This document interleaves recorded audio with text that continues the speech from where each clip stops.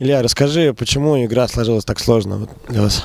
Не знаю, это надо спросить у ребят, почему они опять не настроились, я не понимаю, вообще ужасно сыграли, реализация катастрофа. Парень вообще пуховике стоял на воротах, даже не вратарь, и два мяча все забили. Я не понимаю, нервы какие-то.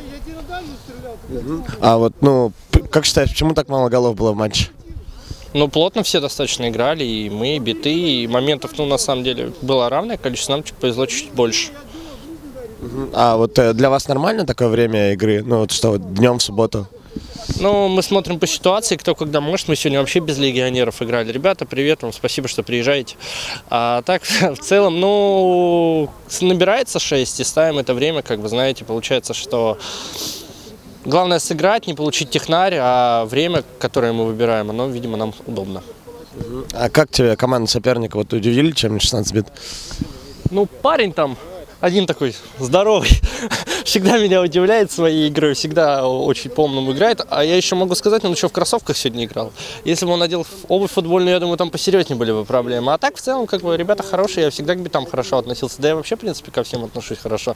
У меня нет там кого-то я не люблю или еще что-то. То есть все травят как бы в шутку друг друга. Это понимаешь, что это юмор и не больше. Все, спасибо.